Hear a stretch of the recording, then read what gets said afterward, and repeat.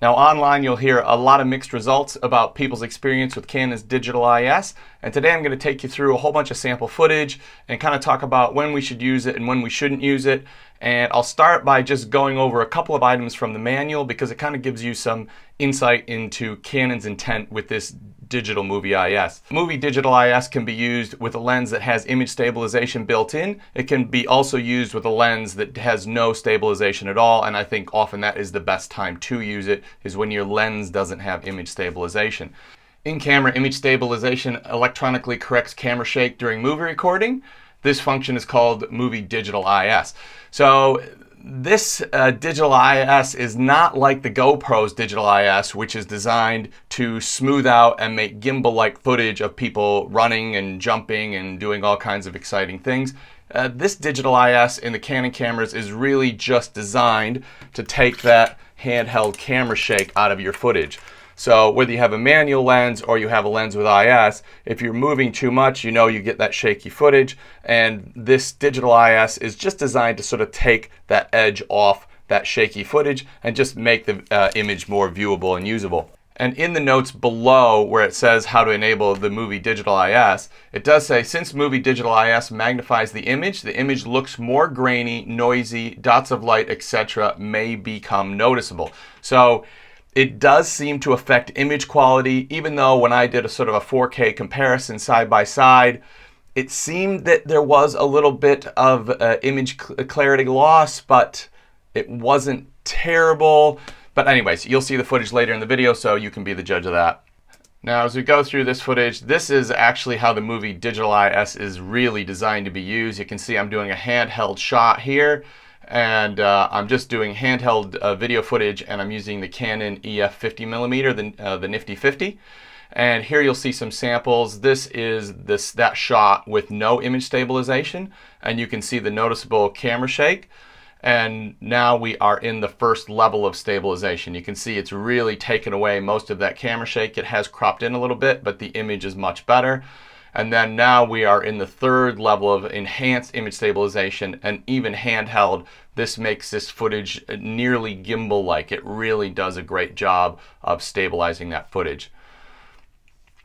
Now this shot is from a school concert. Uh, I was actually sitting halfway back in the auditorium holding the camera up over my head and it held it almost like it was on a tripod. I was I was honestly shocked this is footage that would have been totally unusable. Once again, this is on the 50 millimeter uh, f1.8, uh, and this would be completely unusable footage without that digital IS.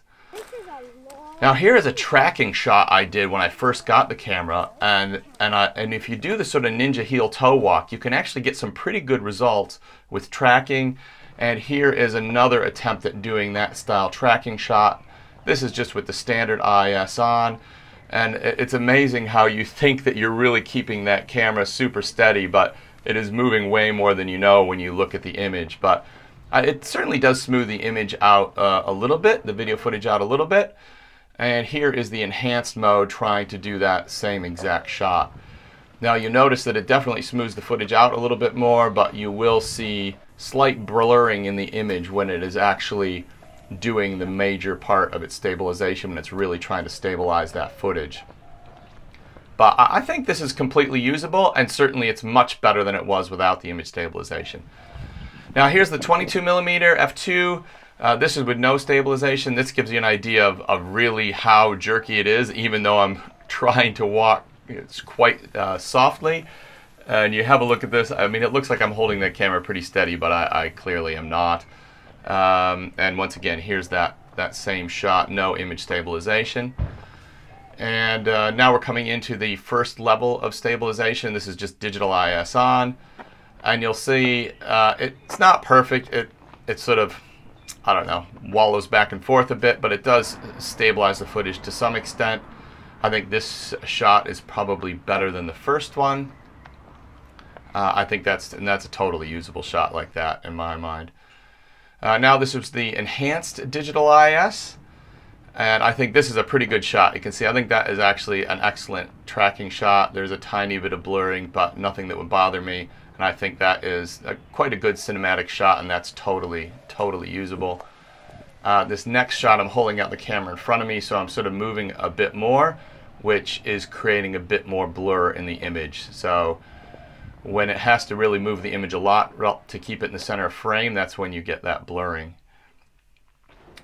Uh, now this is a kind of a, I don't know, Hollywood style tracking shot I was trying to do, sort of almost emulate a gimbal type movement. And I thought it was actually pretty good. I was reasonably impressed with the results of this. I mean, it wasn't perfect, but this is in the enhanced digital IS mode and I'm going upstairs and I think it really did a pretty good job of keeping that footage stable. This is with no post-processing and I think that is totally usable if you're doing some sort of home movie or, or home cinematic footage. Uh, now this is a panning test I did. This is with no IS and you can see it is a bit jerky as I'm panning. And the next shot, this is with the first level of image stabilization, and you'll notice that it definitely has stabilized the footage. It certainly looks much more cinematic, and it's, it's a far more usable image, I think. And then the third one is the enhanced mode, and you'll notice it's very, very smooth, but it has cropped in quite significantly. So you do lose a lot of your field of view when you use the enhanced mode but it does keep the image extremely smooth. Now this is the question, does the digital IS affect sharpness? Canon's already told us it does. Here's a shot with no IS, which is the 30 with the 32 millimeter, the super sharp lens for this camera. Then we've got with the first level of IS, and then the enhanced IS. And I think there is some loss in clarity, but I don't think it's absolutely huge. So really a lot of this is about knowing uh, when to use the digital IS, when not to use the digital IS, sort of handheld shots you're trying to keep steady if you're a long distance, particularly if you're using a lens that has no image stabilization built in. I would definitely use the digital IS in movie mode. If you do have a lens that has IS built in and the IS is pretty good in that lens, then generally I turn the digital IS off. So I think digital IS, use it when you have the lenses that don't have the image stabilization built in. Turn it off for the ones that have the image stabilization built into the lens. Hope that video was helpful. If you're interested in the M6 Mark II or any of the EFM lenses and this system, subscribe to the channel. I'm currently doing a video series on this whole system, and that's what this channel is all about at the very moment. So Thanks for watching. We will see you in the next video.